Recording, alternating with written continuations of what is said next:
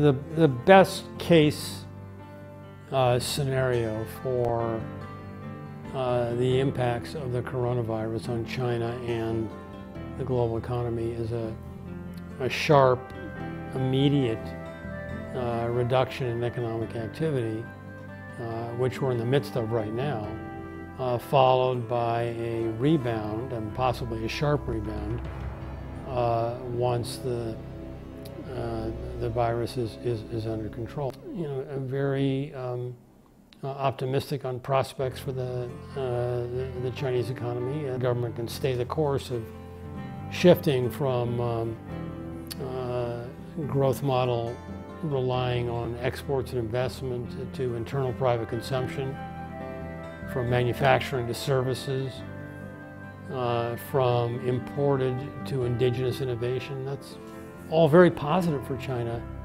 uh, going forward. For a temporary period, there will be setbacks to the Chinese economy and to some extent the global economy also because China is a very big player in the global economy.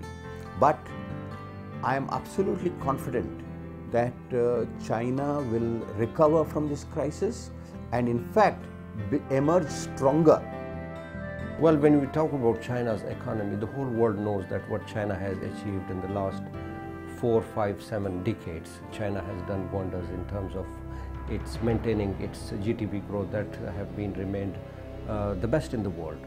Even now, considering this, uh, you know, the way China is fighting against this uh, uh, pandemic, I believe that undoubtedly it will affect China's economy to some extent, but still, um, I'm sure that the growth achieved by China is holding the whole economic structure of the world.